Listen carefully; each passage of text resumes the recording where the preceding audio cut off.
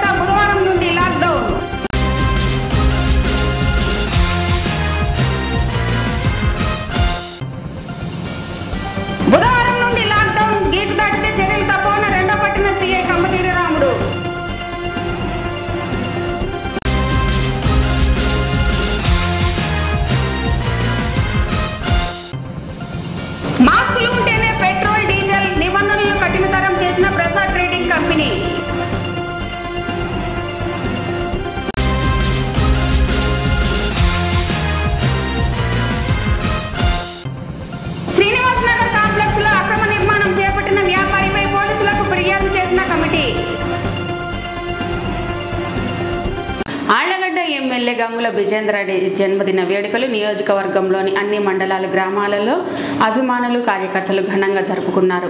K. Cut చేసి తమ అభిమానాన్ని చాటుకున్నారు. ఆళ్ళగడ్డ పట్టణంలోని ప్రభుత్వ ఆసుపత్రిలో ఉషశ్రీ ఎండి విష్ణువర్ధన్ రెడ్డి ఆధ్వర్యంలో రక్తదాన కార్యక్రమం నిర్వహించారు.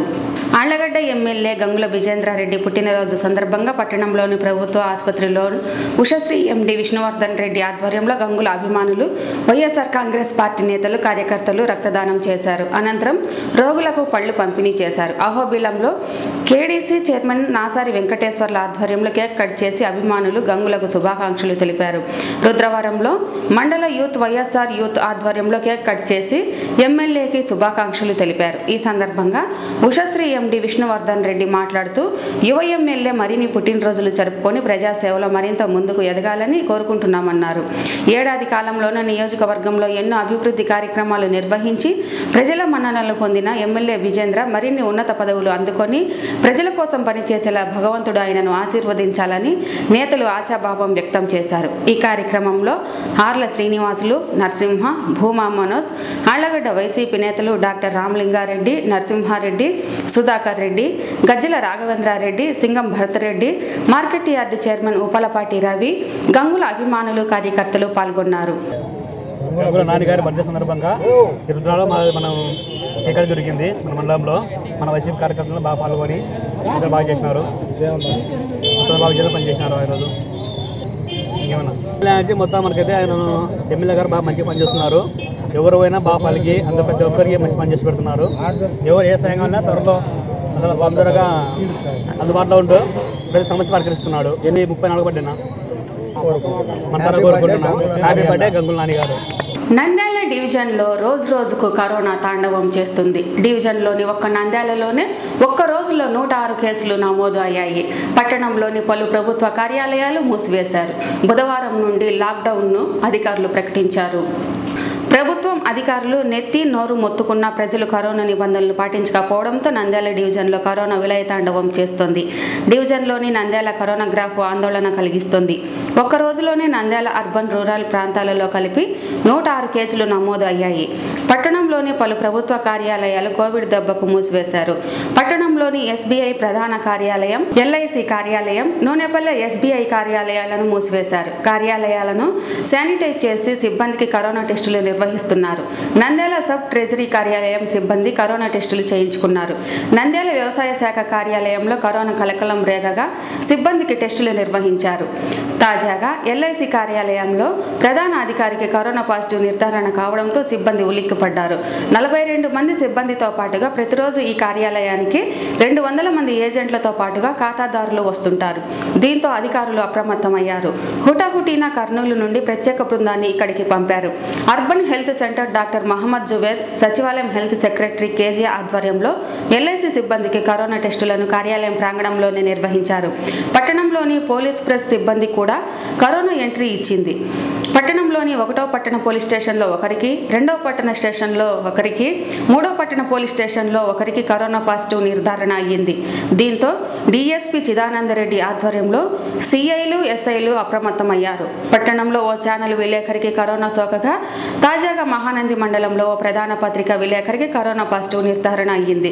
పట్టణంలో తహసీల్దార్ కార్యాలయం వద్ద రద్దీ దృష్ట్యా ఇక్కడి అధికారులు కూడా హడిలిపోతున్నారు. తప్పని పరిస్థితులలో విధులు నిర్వహిస్తున్నారు. కాగా డివిజన్లోని ఆళ్ళగడ్డలో నాలుగు కోయిలకుంట్లలో రెండు అవుకులో రెండు సిరివేళ్ళలో రెండు పద్దెనిమిది గోస్పాడులో ఎనిమిది మహానందిలో ఆరు బండాత్మకూరులో నాలుగు బనగానపల్లిలో ఐదు డౌన్లో తొమ్మిది నంది కొట్కూరులో పాజిటివ్ కేసులు నమోదయ్యాయి. దీంతో ప్రభుత్వ యంత్రాంగం అప్రమత్తమైంది అనవసరంగా రోడ్లపైకి వచ్చే వారికి తగిన గుణపాఠం చెప్పి కరోనా నియంత్రణకు కంకణం పట్టుకుంది మాస్కులు లేని వారికి ఫైన్లు విధించడం నిబంధనల మేరకు వ్యవహరించని షాపులకు జరిమానాలు విధించేందుకు సర్వసిద్ధమయ్యారు అధికారులు. ముప్పై మూడో వార్డు వార్డు ప్ర- వార్డులో అర్బన్ సెంటర్ అర్బన్ సెంటర్ ఆధ్వర్యంలో కోవిడ్ టెస్ట్ చేస్తున్నాము. ఓన్లీ సిమ్టమాటిక్ వాళ్ళకి మాత్రమే చేస్తున్నాము. అండ్ uh, ఇక్కడ ఇంకొకటి ఎల్ఐసి ఆఫీస్లో ఒకటి పాజిటివ్ కేసు వచ్చింది కాబట్టి మోస్ట్లీ ఎల్ఐసిలో ఎవరైతే వర్క్ చేశారో వాళ్ళని మాత్రం చేస్తున్నాము.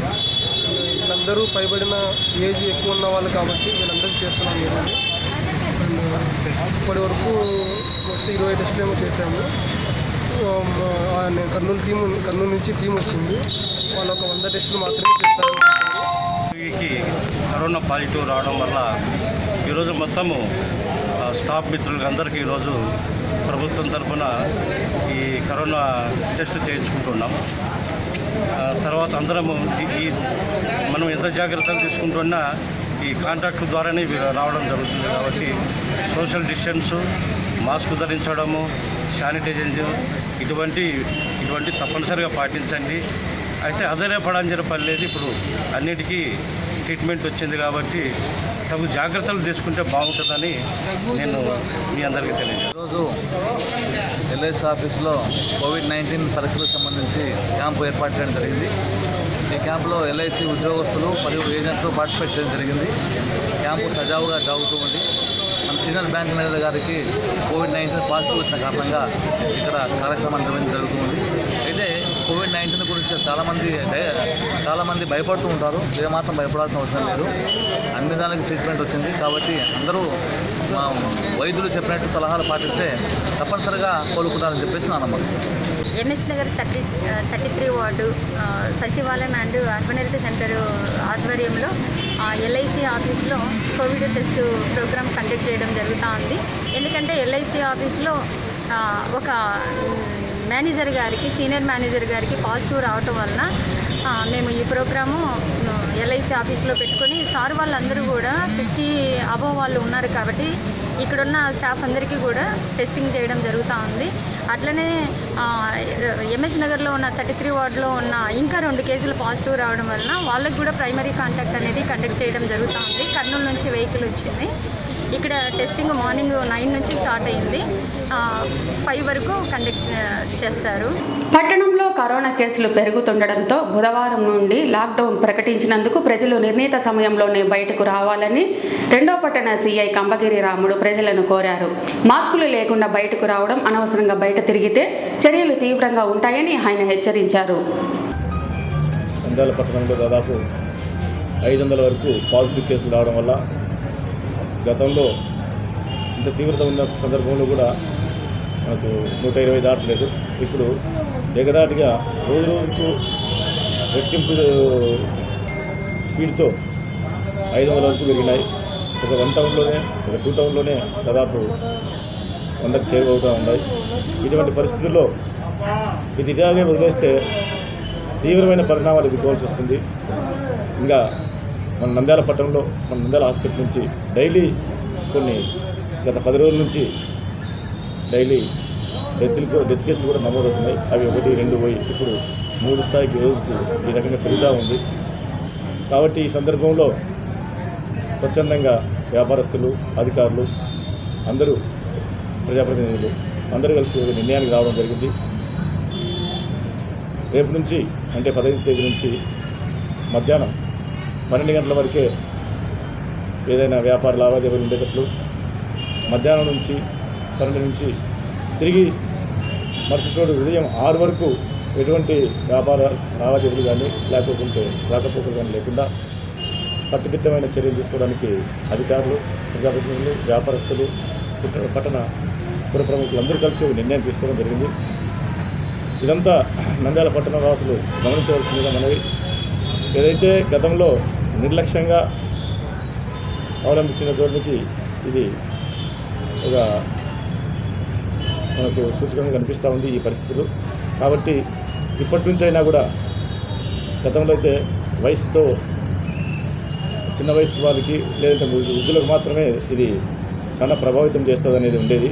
ఇప్పుడు అటువంటి అపోహలు ఏం లేదు వయసు నిమిత్తం ఏం లేదు. అథ్లెటిక్స్కి వస్తున్నాయి స్పోర్ట్స్ మ్యాన్స్కి వస్తున్నాయి. చిన్న వయసుకి వస్తున్నాయి అందరికీ వస్తూ ఉన్నాయి. వచ్చి మరణాలు కూడా చూస్తూ ఉన్నాం అక్కడక్కడ.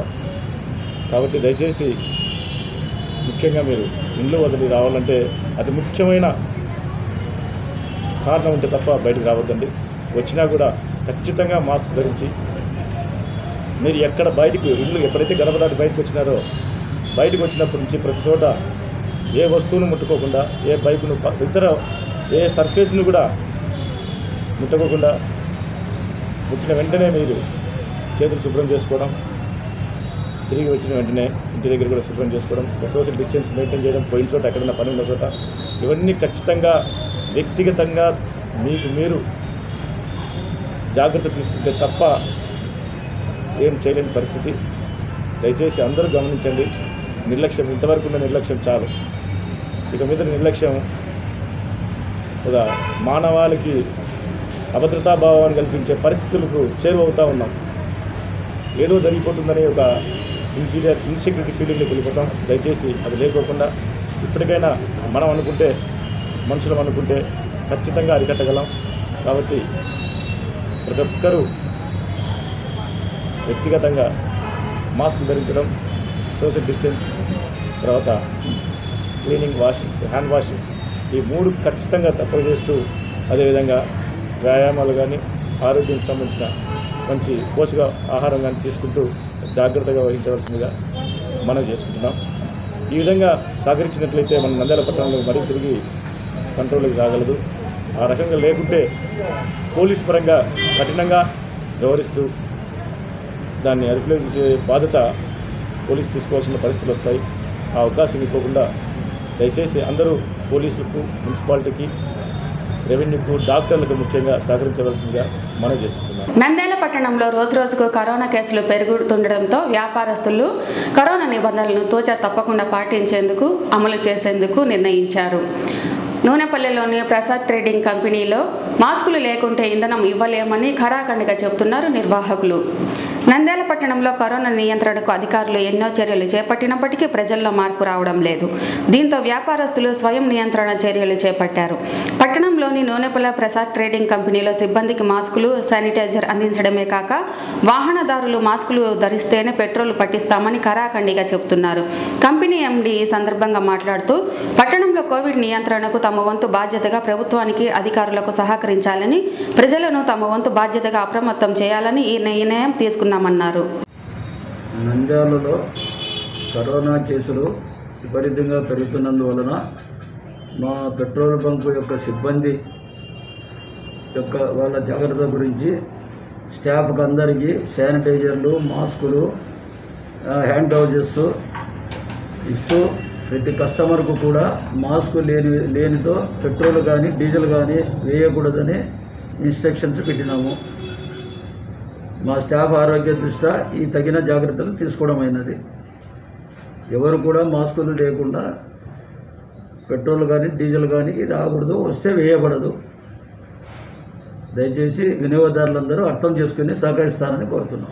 పట్టణంలోని శ్రీనివాస మార్కెట్ కాంప్లెక్స్లో కమిటీ నిబంధనలకు విరుద్ధంగా అక్రమ నిర్మాణం చేపట్టిన వ్యాపారిపై శ్రీనివాస మార్కెట్ ఓనర్స్ అసోసియేషన్ ఆధ్వర్యంలో రెండో పట్టణ పోలీసులకు ఫిర్యాదు చేశారు.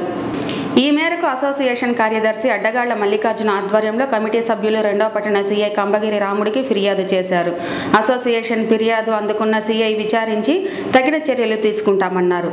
ఫిర్యాదు అందించిన వారిలో అసోసియేషన్ అధ్యక్షులు గోపాలకృష్ణమూర్తి పెసల శ్రీకాంత్ తదితరులు పాల్గొన్నారు.